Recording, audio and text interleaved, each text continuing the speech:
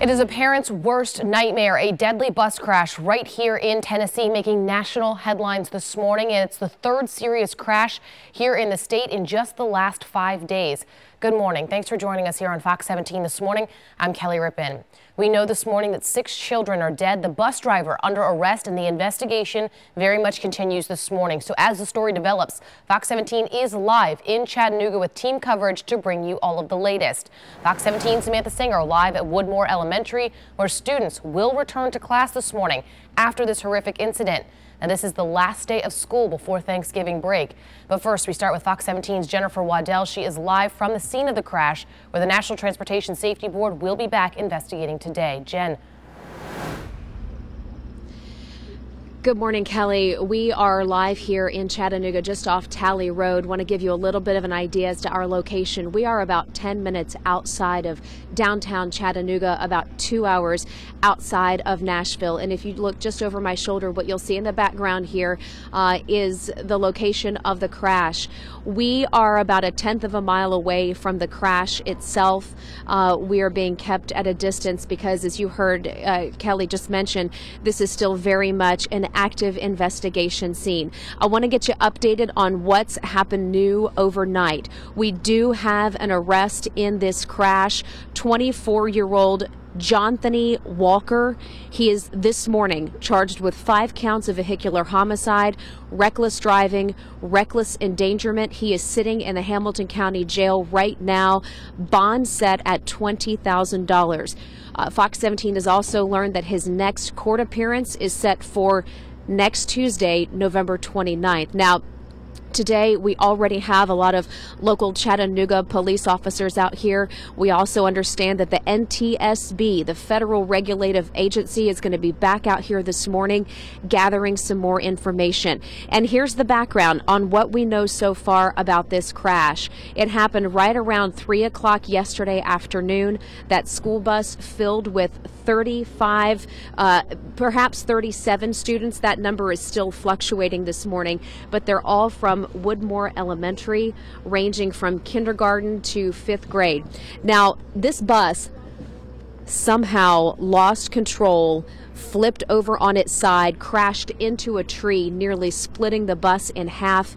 Witnesses say some of those children were able to escape through the roof hatch. Uh, 23 children in all ended up in the hospital, and sadly, uh, six children in all died in this crash. Five of them right here at the scene, and then one more child died at the hospital. And as I just mentioned, we do have the driver under arrest. Now, of course, uh, this kind of tragedy is hard to process, uh, not just for so many of you who are watching this morning, uh, but if you're a parent or if you have a child in your family, uh, you can understand just how heartbreaking this is, but even more so for everyone here in Chattanooga and, and obviously the families of those children affected. We had a chance to talk with a young survivor who walked away with blood on his jacket, one of his shoes left behind at the wreckage. Were you hurt anywhere? Only on my head. What happened? I was bleeding because when he had tipped over, he had. What happened to one of your shoes? It was still on the bus when I had got out, and I was looking, and it was still on the bus. And let's listen to a little bit more of what he had to say with regards to the bus driver. He wasn't paying attention. He was going real fast, and he had hit a garbage a garbage bag, and we had hit a mailbox, and then we flipped over and hit a tree real hard. Listening to that little survivor share his story uh, is one of the things that really just hits your heart. Uh, we can tell you right now that these children, uh, as difficult as it may be for some of them, will be able to go back to school today. Hamilton County schools will be in session. They will have a lot of grief counselors on hand, though, for anyone who chooses to go back to school today. As part of our team coverage this morning, we have Fox 17 Samantha Singer live. She is at Woodmore Elementary School where these children uh, attended class. Samantha, give us the newest information from where you are. Well, Jen, in three hours, students will be starting their day here at Woodmore Elementary, but without several of their classmates. So to deal with such an unimaginable tragedy today, we they are going to have counselors here helping the grieving students. Okay, now we know the interim superintendent of Hamilton County oversees 42,000 students here in the county. But right now, he and the Chattanooga police chief are making those 35 children involved in the crash their top priority. We're just asking for prayers in our hearts and simply go out to the families uh, for the students who have been transported to the hospital. Some left with their parents, and so we're trying to do everything we can to make sure um, that they're getting the best care uh, possible. Our hearts go out, as well as the, the hearts of all these people behind me, to the family, the neighborhood, the school, for all of the people involved in this, and we assure you that we're doing everything we can to help everybody be as safe as they can, get the care they need, and get the support they need. Taking care of the children that are injured is our number one priority. Taking care of the families who are looking for, caring for, and grieving for children is our second priority. Investigating this uh, incident is our third, and taking care of those who take care of our community is next. Now, like the Chattanooga police chief said, also on the agenda today, the investigation into what exactly happened Monday afternoon. We know that speed is looking being looked at as a definite factor. Uh, the Chattanooga Police and the National Transportation Safety Board, they're working together to learn more. Now, part of that includes getting their hands on the bus's black box. A warrant has been issued to remove the informational box on the on the school bus and review the video on that school bus. Like I said, there are multiple fatalities. We are not confirming those exact numbers because the families are most important right now. Now, this morning, coming up at 6 a.m. Central Time, Fox 17 will be at the press conference here at the school, getting more information about the crash and the investigation. We'll bring it to you live. And then the chairman of the National Transportation Safety Board hosting his own press conference. That'll be in Washington, D.C., 6.30 Central Time. And we are reporting here outside of Woodmore Elementary School in Chattanooga, where school starts this morning at 7 a.m. Central Time. Samantha Singer, Fox 17 News. Back over to you. Samantha, thank you very much. Uh, you know, you've heard this talk about the community here, and not only are the community members in Chattanooga really trying to pull together to support these families, but there is support coming in from all over the nation and right here in Tennessee as well. In, in Nashville, I want to show you something that Governor Haslam uh, has released to us. This is a statement uh, sending his thoughts for these families. Uh, Tennessee Governor Bill Haslam saying that he has his thoughts and his prayers all with the victims right now that the state will do anything it can to help the local authorities and the children's families. We also have uh, some feedback this morning from one of our U.S. senators in Tennessee, Bob Corker, who is from Chattanooga, also addressing this tragedy. Uh, on Twitter, he said that he spoke with the city's mayor and the school superintendent to extend his sympathies and support. So Right now, there's something else that we need to talk about this morning. We have dozens of children who were injured in this crash. Some of them are still in the hospital this morning, and there is a critical need for blood to try to help some of these children as they, some of them have a long road to recovery. So if you're thinking about a way that you might want to help in this tragedy, donating blood is one way you can do that. I want to give you some information that could be helpful here for you. Uh, in fact, here in Chattanooga, the long lines already going into overnight, folks lining up at the blood bank here, the community really coming out in full force to help the children.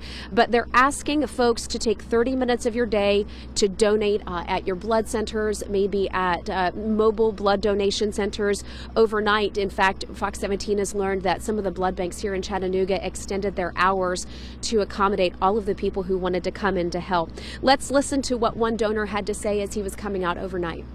It's kids that are involved, so uh, and you know, we went through this a few years ago with adults, and it's hard enough. But when it's children, and uh, I knew I was O negative, and it was uh, my time was ready where I could give again. So, a reminder that we still have uh, maybe five or six children in the hospital this morning uh, with critical injuries. So, if you'd like to donate blood, want to give you just a few reminders of how you can do that. You do have to be at least 18 years old. You can be 16 or 17 with parental consent. Uh, also, you've got to weigh at least 110 pounds. You have to be in good health. If you're going to give blood, make sure you're drinking plenty of fluids. Avoid caffeine today. You know, this is the kind of thing that you could do uh, on your lunch break. Take a few minutes. Also, make sure you eat a good meal. And if you'd like some more information on donor locations wherever you are in the midstate, just head to our website, fox17.com.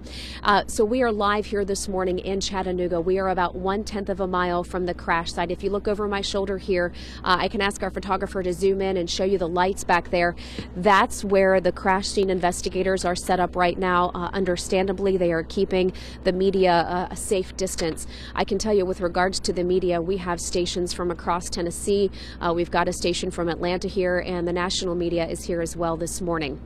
Now, uh, at the top of our newscast, you heard Kelly mention that this is the third crash uh, involving a school bus that we've had here in Tennessee in just the past few days. I'm going to send it back in studio to Kelly right now. She's going to give us some more details on that, and we'll check back in with you here live from Chattanooga coming up in the next half hour. I'm Jennifer Waddell reporting live. Kelly, back to you. Thanks, Jen. And we will continue to check back in with her and Samantha Singer live in Chattanooga this morning here on Fox 17 this morning. But right now, we're now hearing the 911 calls from the school bus crash that Jen was just mentioning here in the mid-state. That happened on Briley Parkway last Friday. The crash just off of I-65, and it sent 23 students to the hospital. We are in a bus, and, and our bus just crashed, and I think people are hurt. I wasn't really paying attention because I was watching a movie on my phone, but all I saw was the bus took a really sharp curve and hit one of one of the sides of the, the concrete side, and then flipped over on the other side panic in her voice. So this happened on the ramp to Briley Parkway, shutting it down for hours. This was a bus filled with Beta Club students from Chester County on their way to Opryland for a convention. Now, Fox 17 talked with the director of Chester County Schools. He says two students still being treated at Vanderbilt Medical Center. The bus is being inspected for any brake problems or possible malfunctions. And Fox 17 also learning police cited the driver of that bus, Christina Mathis, for a crash back in August. The report says she didn't yield the right of way, pulled out of the Chester County High School and hit a car. Now we're told the driver will not face any action from the district until it finds out the cause of the crash. Officials say speeding is a potential factor. Now, you'll remember Fox 17 reporting on another bus crash, again, all happening within the last five days. This one happened near Murfreesboro in Rutherford County. The driver of the pickup truck crashed into the back of a school bus with 10 kids on board.